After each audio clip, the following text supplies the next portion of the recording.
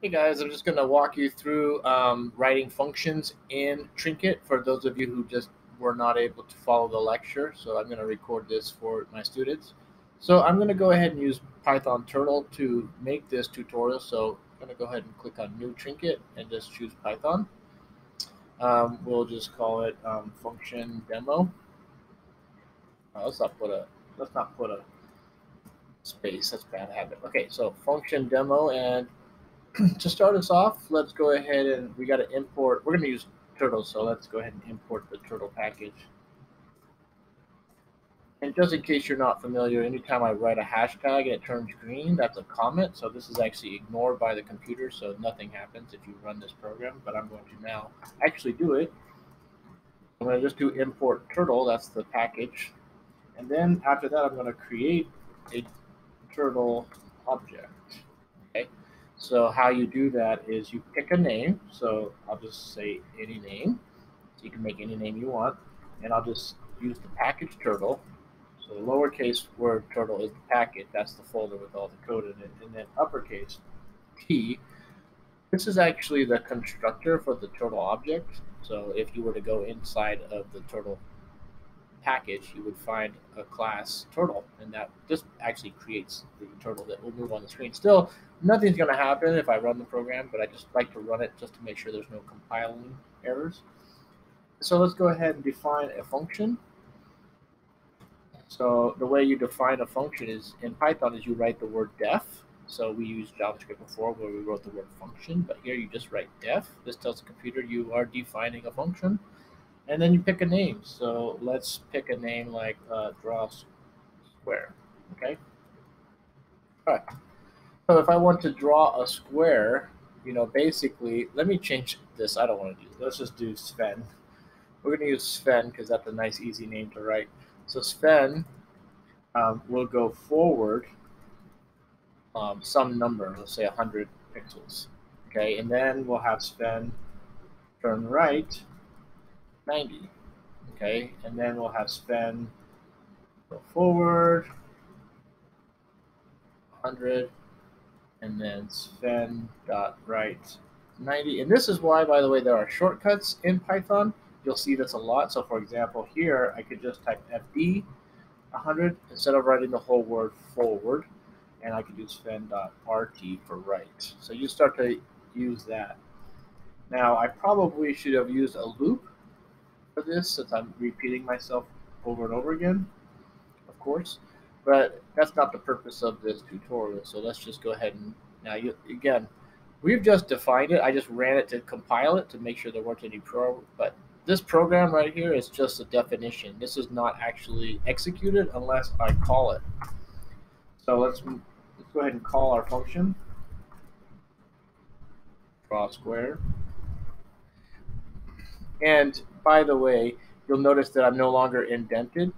As soon as I stop indenting in Python, that tells the computer that I, this code block is done. So you see how I, when I wrote this semicolon, it, init- it immediately put this little um, tab, and that's basically separating what's called a code block. Okay, the end of the code block occurs when I stop indenting. That's why this line doesn't go inside of the. Um, this doesn't go inside when I collapse it. If I had indented it, let me just show you. If I had indented it so that it was vertically aligned, then it would be part of the code block, so it would disappear. So I really try to put that out there, and whenever I'm doing Python, because indentation means everything. So we, we try to make it right when we're doing Java or JavaScript, but you always want to make it right um, when you're doing Python. Otherwise, your computer program won't run right. Okay, so let's go ahead and call the function. You just do that by writing the name of the function. So we'll go ahead and draw a square, and we should see the drawing of a square. Okay, so notice that this program right here was pretty simple. What's cool about this is now I could draw lots of squares. So for example, I could go for i in range, um, let's do, I don't know, 100. Okay, I'll draw 100 squares. Now, if I run this, it's just going to keep running the same square over itself. So it's not really that cool because it hasn't really done anything. But if after I draw a square, I do something like turn, um, I don't know, let's just turn the, uh, the, the Sven four degrees, then the second square will be four degrees to the right. So you get this nice little shape here. Okay, so that's kind of why it's fun to use functions. Instead of just typing all this code and then having to put all this code in here, I also could do a lot more um, if I had chosen to use parameters. Well, let's do that now. Let's go ahead and make one with parameters. And I believe in Python they like to use the word arguments. If you know why that is and what's the difference, really, I honestly don't know. I've been coding for quite a while and I, I don't really know the difference between the words parameters and argu arguments. But if I had used those instead, it would look something like this. Let me go ahead and make, um, I don't know, let's just do a rectangle. And this time we'll take in two parameters. So a rectangle has a width and a height. So I'll write those, I'll just use those words. So I'll say width. Now you'll notice that these are not actually variables created. These are only passed in when you call the function. So if I want to if I want to make a rectangle with a specific width and height, I put those separated by a comma. So I have two parameters, so two variables. So it's basically allowing myself the flexibility to change how wide and how high it is based on when I write the word rect. And then I put parentheses. I can make it as big and as tall as I want. So let's do a loop here for i in range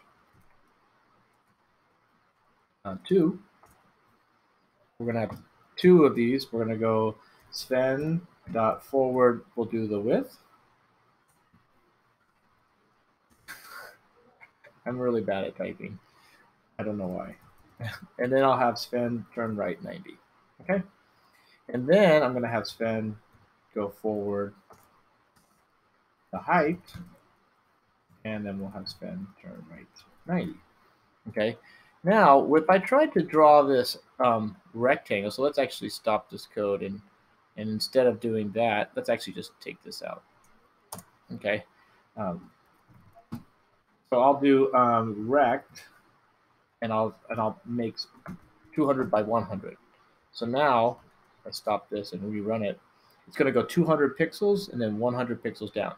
And then what's cool is that I could draw another rect and do it like 50 by um, 75 or 76. It doesn't really matter because each time I run this function, let's go ahead and run it again, it'll draw the 200 by 100 and then it will do 50 by 76.